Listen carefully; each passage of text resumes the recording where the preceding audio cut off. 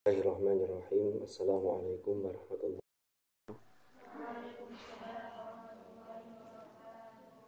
Alhamdulillah wassalatu wassalamu ala Rasulillah Sayyidina Muhammadin ibni Abdullah wa ala alihi wa sahbihi wa mawalah amma ba'd. Mari kita mulai majelis ilmu ini dengan bacaan Ummul Quran. Mudah-mudahan menjadi majelis ilmu yang nafi'an مباركا في الدين والدنيا والآخرة على هذه النية وعلى كل نية صالحة وعلى ما نويناه وعلى ما نواه السلف الصالح.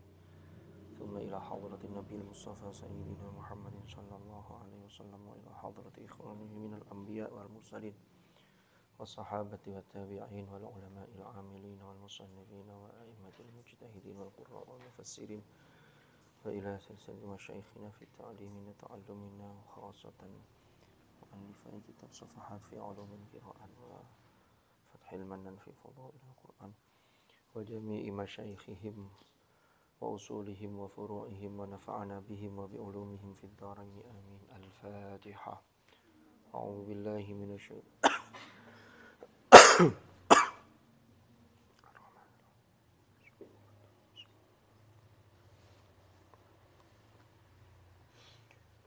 saya mohon maaf karena ada satu dan lain hal sehingga terjadi delay untuk pengajian kita.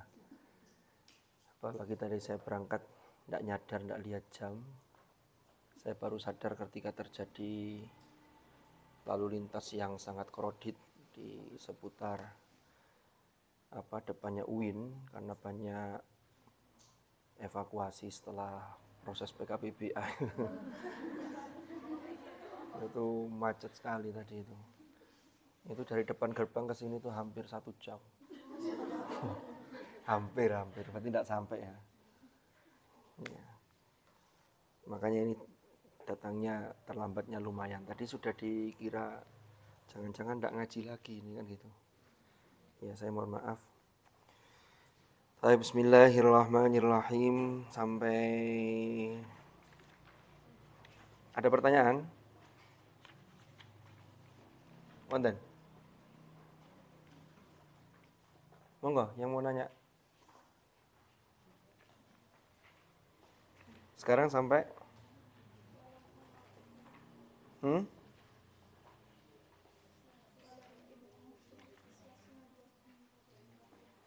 Satu lima dua. Bismillahirrahmanirrahim.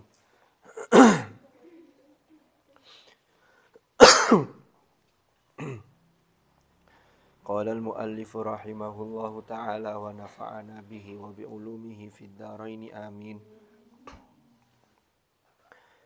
Kita masih membahas tentang hal yajuzu al-ijtihadu fil qiraat. Ya.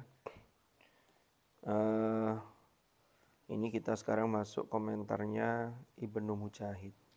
Masih ingat siapa Ibnu Mujahid? Kenal? Loh, ada yang kenal?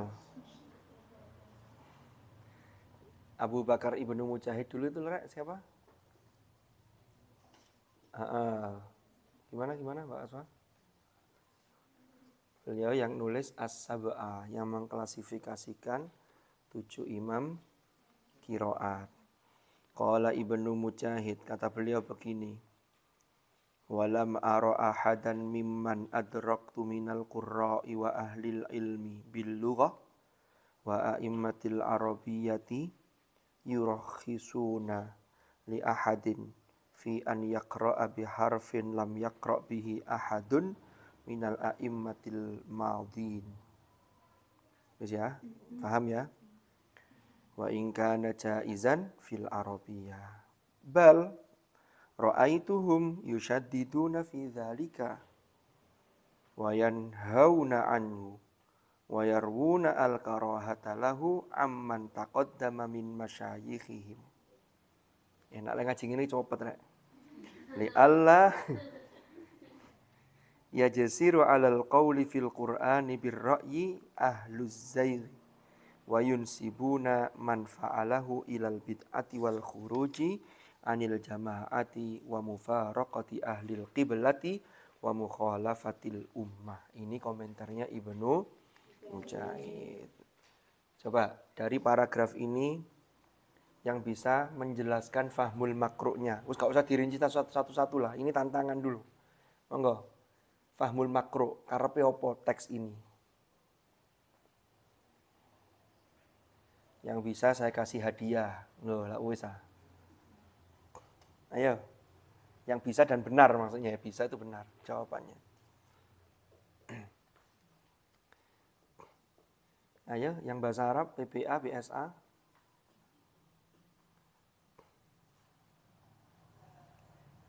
Oh, IAT, Masya Allah. Jangan sampai lupa. IAT nggak disebut. Atau yang sarjana IAT. Nah, ini sarjana IAT ada dua ini. Kesadin sudah sidang ya? Nah, sudah itu sudah SA Pak, SAG. SAG gelarnya.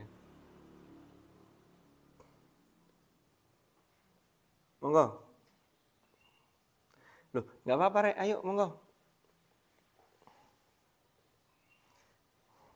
Ono sing dingklo iku temenan berusaha mami. Ono sing dingklo iku muka-muka gak ditunjuk, muka-muka gak ditunjuk.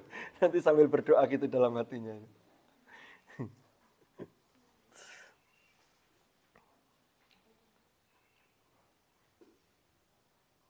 Ayo monggo. Gak usah takut salah.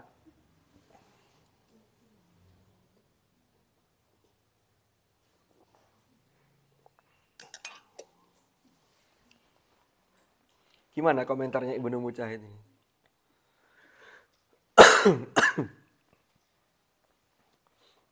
Mbak Mbak Tin. Sajarotin. Mau jawab Mbak Tin? Panggilannya siapa? Mbak Tin atau Mbak Lin? Oh, bukan Mbak Lin, bukan Mbak Tin. Nia. Itu diambil dari mananya itu? Hah? Oh, Mak ini. Iya, iya, iya. Ya. Hmm. Tak kira saya tadi yang paling telat, ternyata ono sing lebih telat mana. Tidak apa-apa. Tadi ada kegiatan ya? Nah, kan luar biasa. AM baru datang langsung. Berarti sekarang AM di sana, sekarang AM di sini. Ayo AM. Asisten mengajar. Akhirnya anak senjam gak ini, meneng kabeh sampai entek waktu ini lah gak mari-mari. Coba satu aja wis perwakilan wis.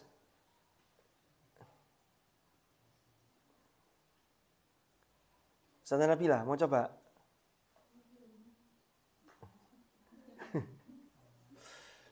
Murabia lama dan calon murabia. calonnya. Calonnya ada berapa kemarin? Ada dua yang daftar ya. Satunya mana? Enggak ada beliaunya. Mbak Zainab.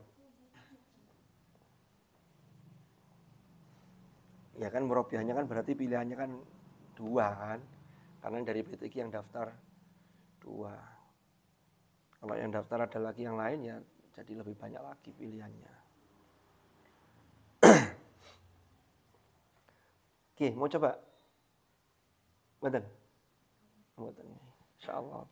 Saja nih Ustaz Nabila itu saya yakin beliau itu tahu dan bisa. Cuma kan tidak ingin menunjukkan. Nanti khawatirnya enak gitu dengan yang lain gitu kan. Yang lain juga begitu sama. Jadi ngerti. Cuman is, nanti kan khawatir sampean gini lah. Kalau saya nanti nyampaikan, kalau ustadznya nanti kalah kan nggak enakan gitu menjelaskannya kan. Tiba kan enakan murid, enakan sampean jelas. Nanti kan bisa jadi kan. Mungkin sampean takutnya itu ya. Sehingga tidak mau menjelaskan. Bismillahirrahmanirrahim. Balani balani. Qala Ibnu Mujahid. Walam aro. Walam aro dan uh, tidak melihat sopo ingsun, sopo saya. Saya tidak pernah melihat ahadan ing uh, ahadan ing satu orang, ing seseorang. Mimman. Mimman uh, ahadan ing satu orang miman dari aimin al qurra kan jelas penjelasannya miman minal qurra saya tidak pernah melihat atau saya tidak pernah tahu seorang pun dari para qurra sepengetahuan saya itu adrok itu tadi maksudnya begitu Kan disisipkan di situ. Ya. Sak ngertiku, aku gak pernah ngerti gitu loh kalau bahasa kita itu begitu. Sepengetahuan saya, saya tidak pernah tahu di antara para kurro atau salah satu dari kurro dan dari ahli ilmi, ahli ilmi bilughah. Jadi ahlul ilmi itu orang yang alim bilughah kelawan bahasa, artinya bahasa Arab. Wa a'immatil Arabiyah begitu juga para tokoh-tokoh linguistik Arab. A'immatil Arabiyah itu tokoh-tokoh bahasa. Bahasa apa? Ya bahasa Arab.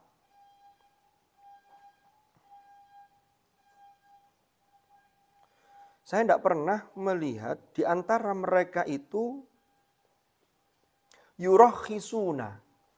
Yurokhisuna memberikan rukhsah atau memberikan kemudahan atau menggampangkan atau memperbolehkan li ahadin bagi seseorang.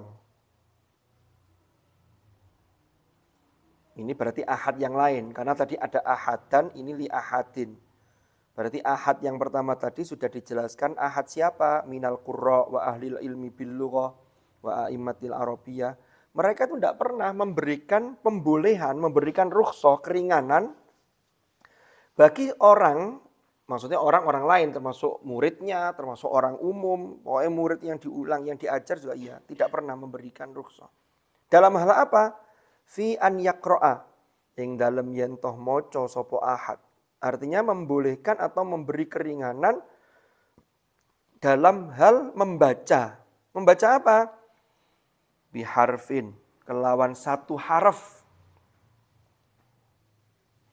Biharfin kelawan satu harf lam yakro yang tidak pernah membaca bihi kelawan harf. Lam yakro yang tidak pernah membaca bihi kelawan harf sopo ahadun minal a'immatil maldin satu orang pun dari para imam terdahulu imam yang lalu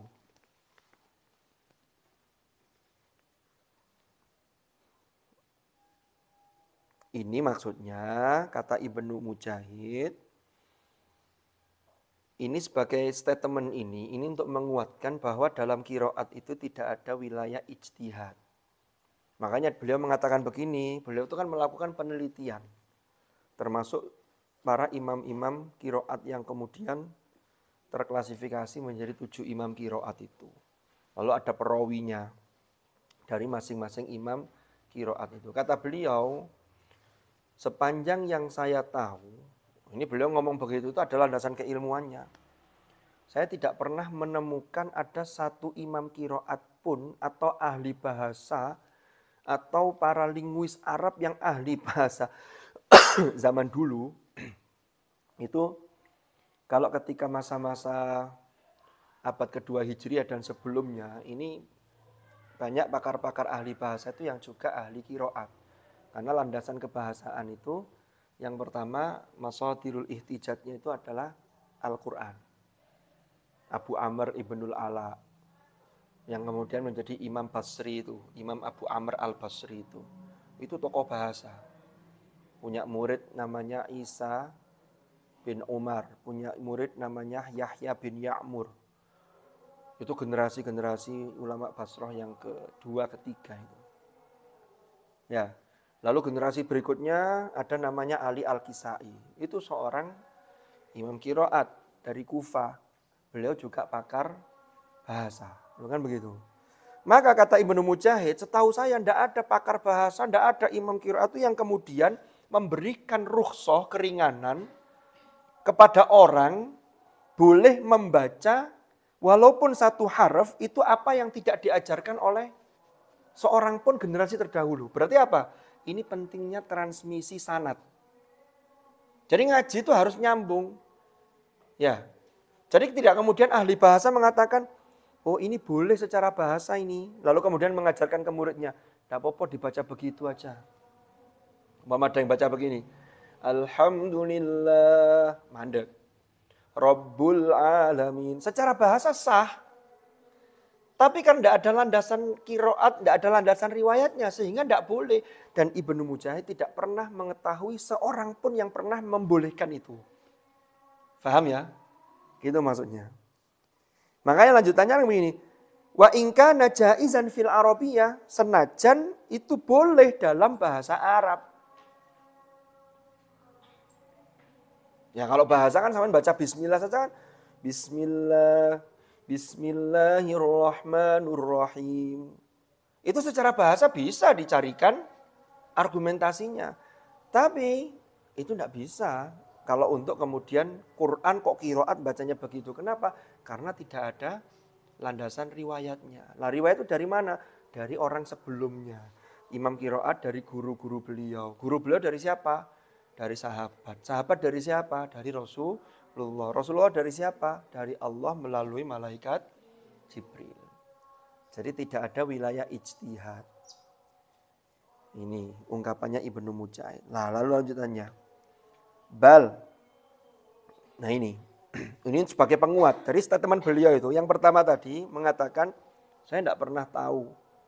Ya, sepanjang pengetahuan saya ada kuro ahli bahasa yang membolehkan orang membaca walaupun itu dibenarkan sesuai kaidah bahasa. Walaupun apa? Itu tidak ada eh, pokoknya kalau tidak ada landasan yang riwayatnya itu tidak boleh. Kan begitu. Bal ra'aituhum bal akan tetapi atau bahkan ra'aitu saya melihat hum ing mereka yaitu qurra ahli ilmi bil wa aimatul arabiyah tadi itu saya melihat mereka yushaddiduna hale memperketat syaddata yushaddidu tashdid. Nemen-nemeni. Nemen-nemen itu apa maksudnya? Ya ah, ketat. Suka sesuai tidak bisa. Ini harus sesuai landasannya dari riwayat tadi itu.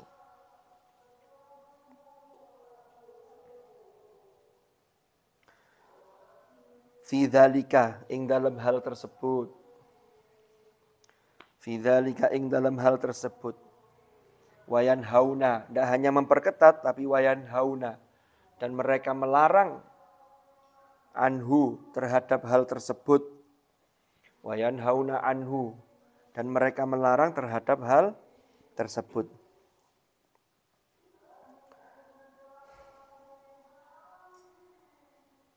Tidak hanya sampai di situ, wayarwuna al karohata.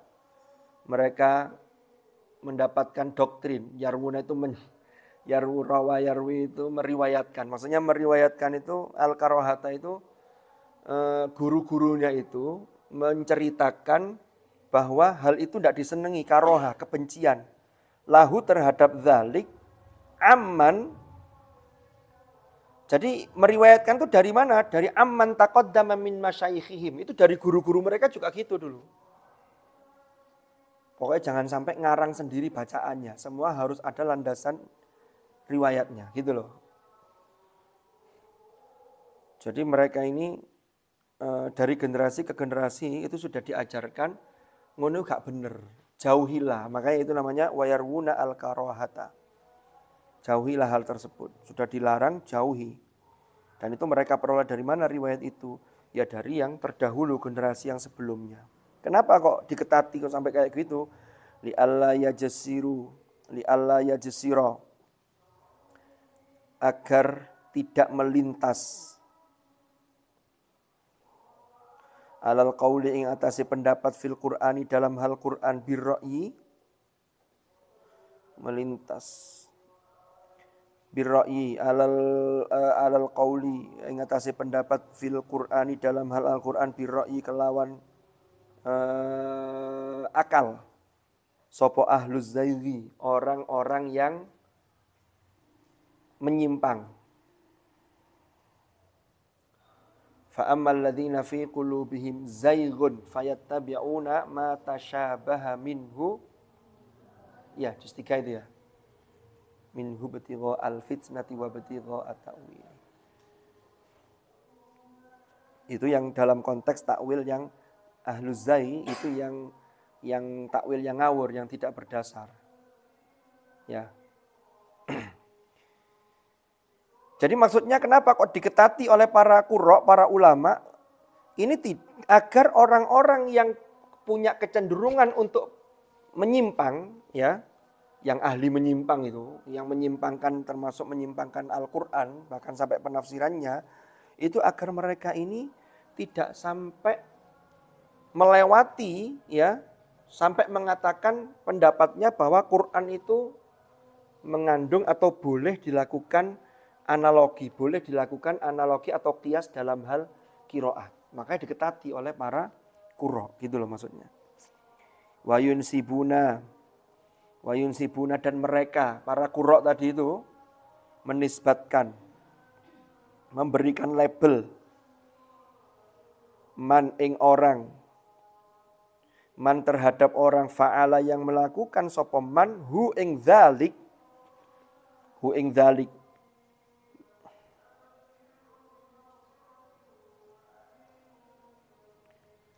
Jadi mereka itu dilabeli apa? Ilal bid'ati yaitu sebagai orang-orang yang melakukan bid'ah.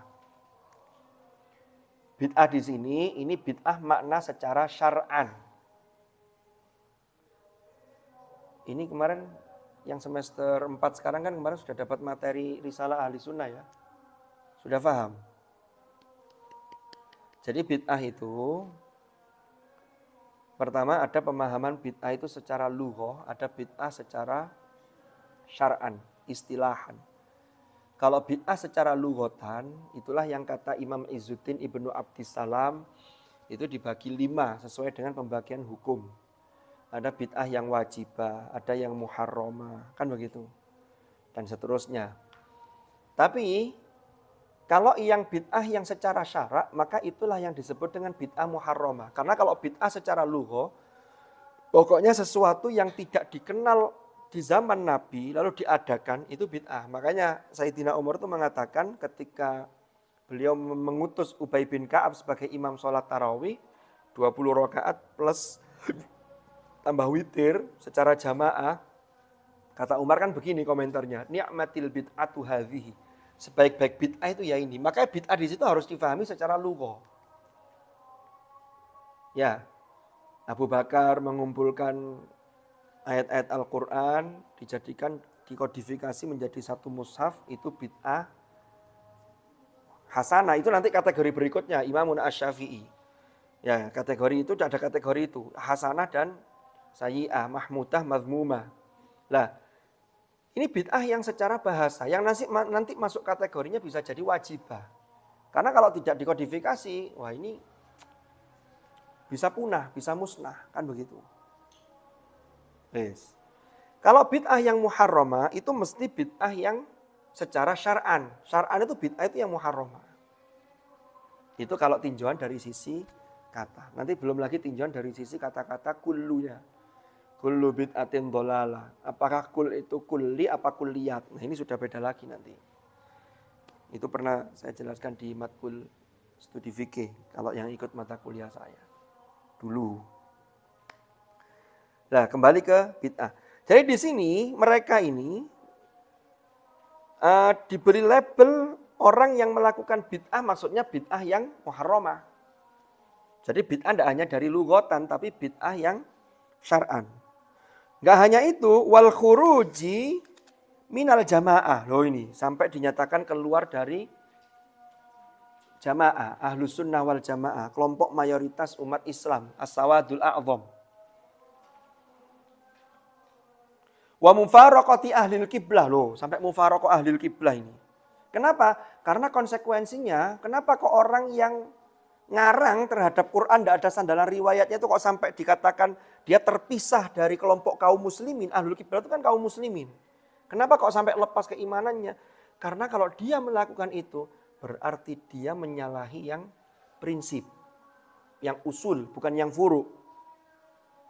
Kalau sudah itu kan taruhannya memang berat. Kan begitu. Wa mukhalafatil ummah dan nulayani atau mukhalafa atau berbeda dengan umat Islam. Ini komentarnya Abu Bakar Ibnu Mujahid untuk menguatkan bahwa di dalam kiroat tidak ada wilayah ijtihad. Gitu loh. Terus ada pendapat lagi. Wa yaqulu al-baqillani. Al-qadhi al-baqillani.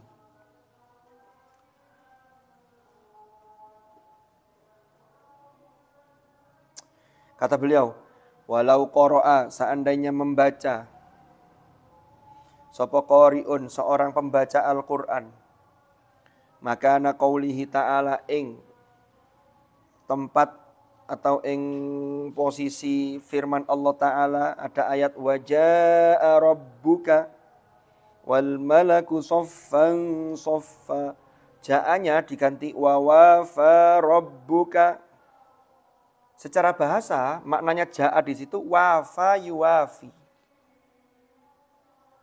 tapi diganti kalau secara arti secara bahasa itu benar tapi tetap penggantian itu tidak bisa dibenarkan. Karena apa? Karena tidak ada sandaran riwayatnya. Wa ma asbahadzalika dan yang seperti itu apa kata Al-Baqillani?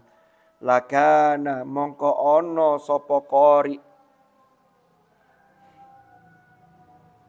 atau lakana mongko ono uh, iku mamnuan mamnuan terlarang atau dilarang jadi nggak boleh itu mamnu bi ijma'il muslimin berdasarkan ijma'nya kaum muslimin. Ijma'il muslimin siapa yang berhak menentukan ijma' ya ulamanya. Cuman disebutkan secara umum ijma'ul muslimin. Tapi yang dimaksud itu adalah para ulamanya.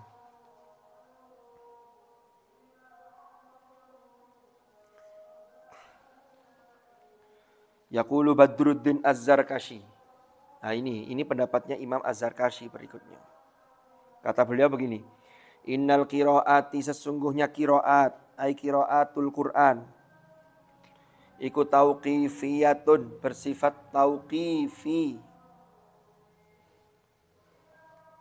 Jadi tauqif itu sudah pemberian dari sononya. Walaisat lan ora ono opo kiroat. Iku ikhtiariyatan bersifat ikhtiari atau ijtihadi. Jadi kiroat itu tidak kemudian kita memilih mana yang paling enak. Enggak, itu semua harus ada landasan riwayatnya. Makanya bahasanya Azhar Kashi, innal kiroati tauqifiyatun walaisat ikhtira ikhtiya walaisat ikhtiariyatan.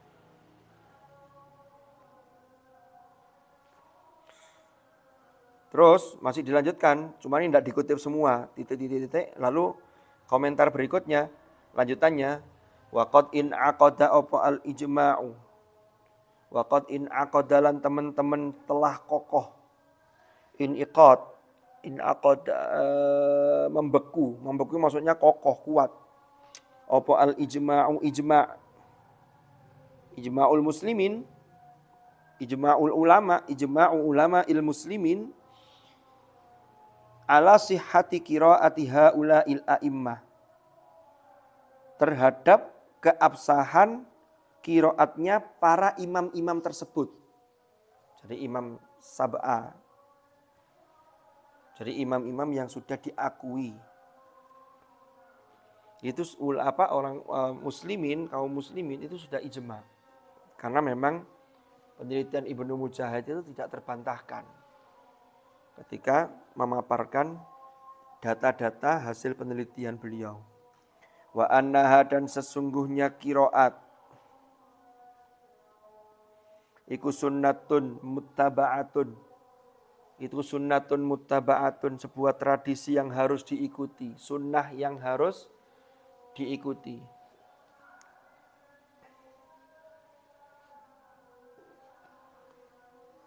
Wala majalalan tidak ada bidang iku maujud, tidak ada area iku maujud, tidak ada wilayah iku maujud. Lil ijtihadi untuk ijtihad fiha ing dalam kiro kiroat. Wa inna ma kadza wa inna ma kana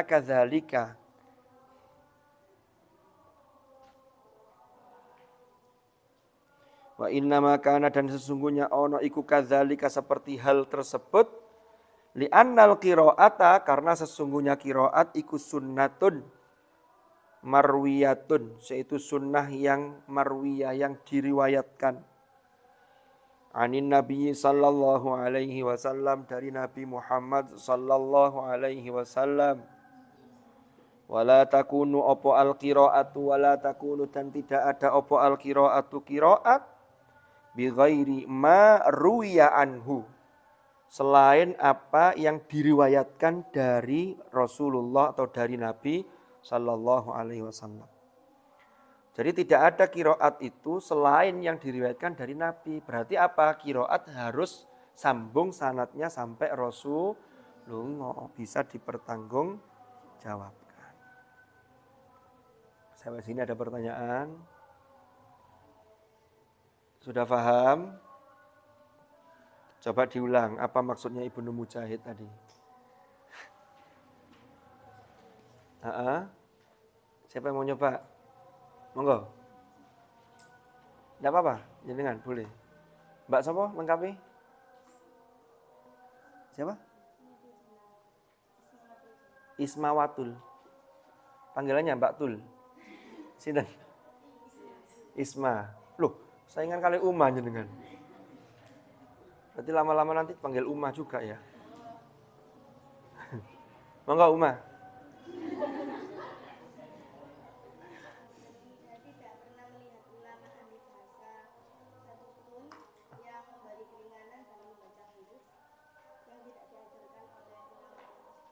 Uh, uh, berarti harus riwayat. Uh, uh. Wis ngono. Ya. Ada pertanyaan? Iya, monggo. Wah, ini asisten mengajar langsung tampil. Luar biasa.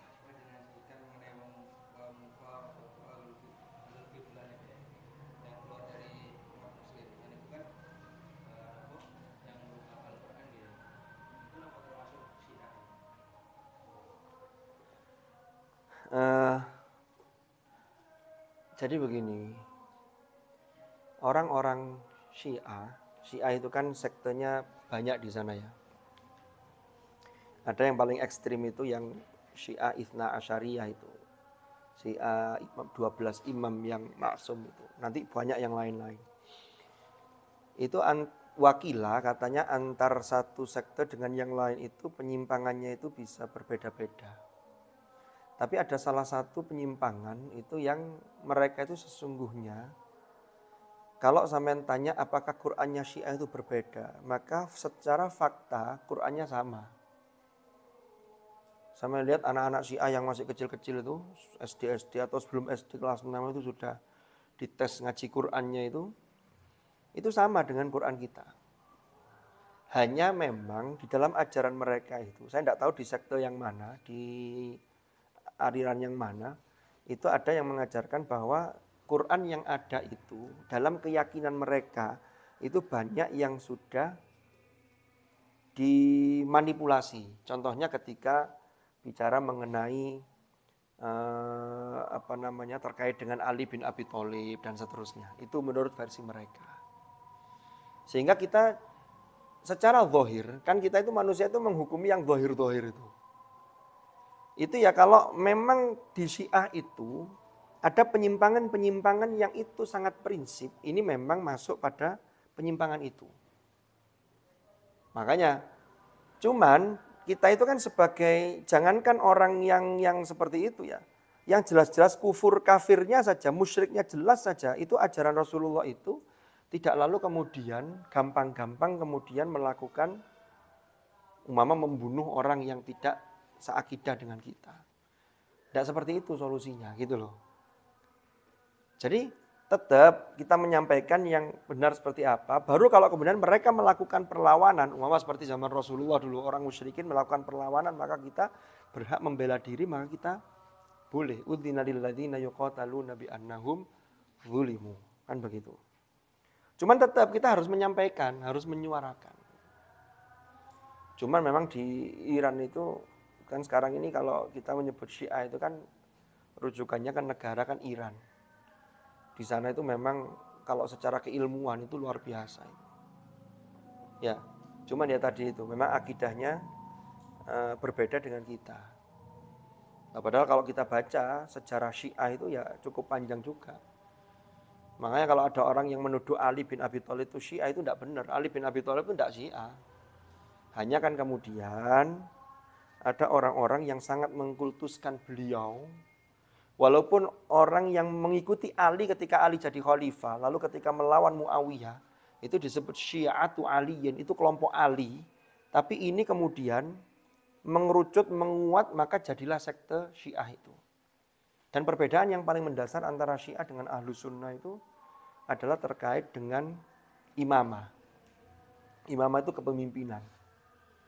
Jadi kalau dalam eh, menurut mereka imamah itu harus didasarkan pada hubungan genealogis. Maka Ali bin Abi Thalib itu yang punya hubungan kerabat dengan Hadratul Rasul, maka dialah yang berhak.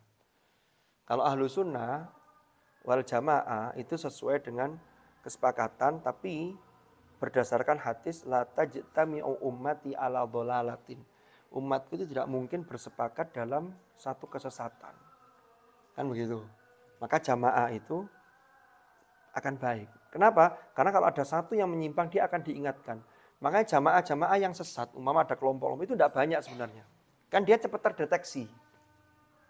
Mama kemarin yang ada lebaran duluan tanggal 5 April lalu dapat telepon dari langsung eh langsung WA apa langsung telepon itu ya saya telepon itu ada pengikutnya begitu begitu cuma ya tidak banyak cuma tetap kita mengajak untuk meluruskan kembali mana yang kurang lurus jangan kayak khawarid khawarid titik-titik pokoknya la hukma illa lillah. Tidak berhukum dengan hukum Allah. Yang nyel wah nyel esti nyel. Yang nyel itu dihukumi kafir dan halal darahnya boleh dibunuh. Ini gawat ini. Makanya uh, secara keilmuan kita ini kan gini ini. Ada hadis Rasulullah itu yang mengatakan begini. Kita ini kalau menemukan hikmah di mana pun, maka ambillah hikmah itu. Itu ibarat apa yang terserak itu, ya lupa saya. Barang yang hilang dari orang mukmin. Jangankan dari orang yang sesama mengaku sesama Islam, sama-sama mengucapkan kalimat tauhid. Tapi kemudian ada perbedaan. Wong yang dari tidak mengucapkan dari musyrik saja, kalau ada hikmah dari orang kafir saja, kita berhak untuk mengambil itu. Artinya begini, kita boleh secara akidah tidak sepakat dengan mereka. Harus, umpama kalau itu jelas-jelas bertentangan. Karena kitab-kitab mereka itu beda dengan kita. Ada kita rujukannya namanya Al-Kafi dan seterusnya.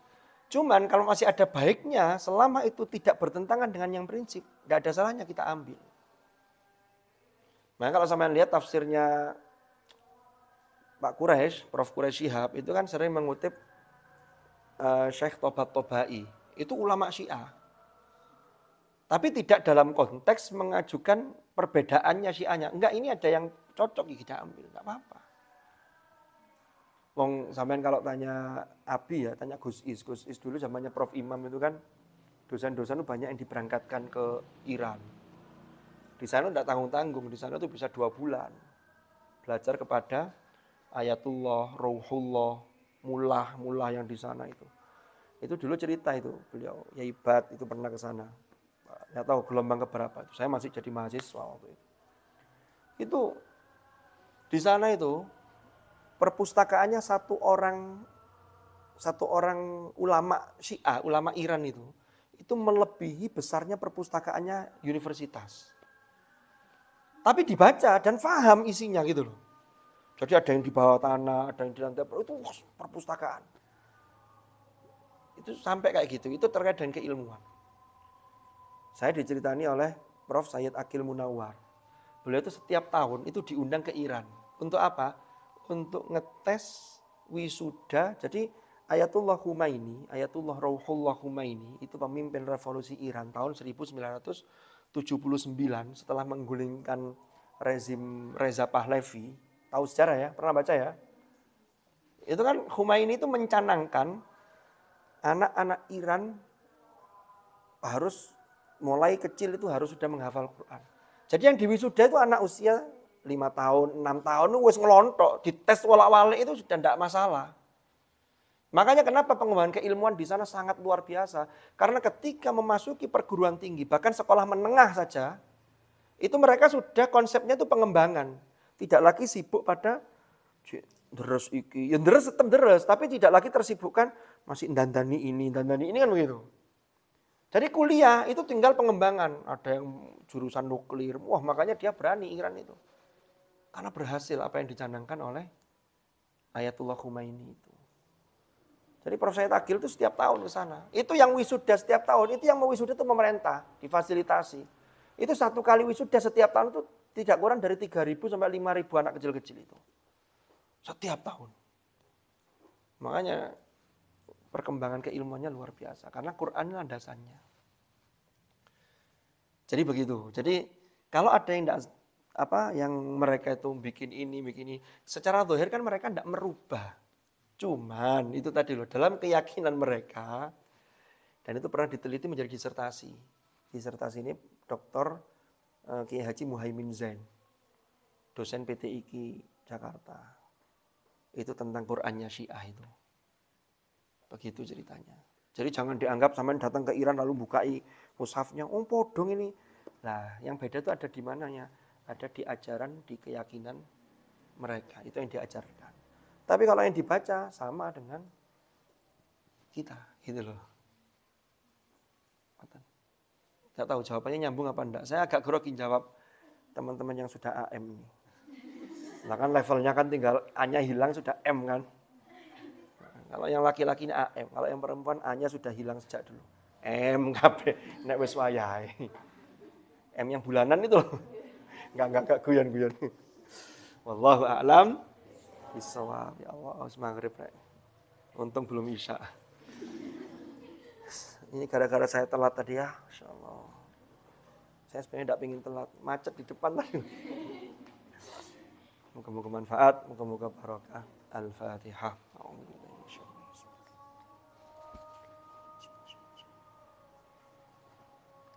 بسم الله الرحمن الرحيم اللهم انفعنا ما علمتنا وبما علمتنا وعلمنا ما ينفعنا وارزقنا علما نافعا اللهم اجعل اجتماعنا هذا اجتماعا مرحوما وتفرقنا من بعده تفرقا معصوما ولا تجعل معنا وفينا شقيا ولا محروما برحمتك يا ارحم الراحمين وصلى الله على سيدنا محمد والحمد لله رب العالمين الفاتحه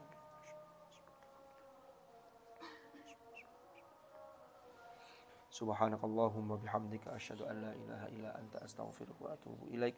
Wa sallallahu ala sayyidina Muhammad walhamdulillahi rabbil alamin. Hadanallahu wa iyyakum ajmain. Al-afa minkum. Assalamualaikum warahmatullahi wabarakatuh.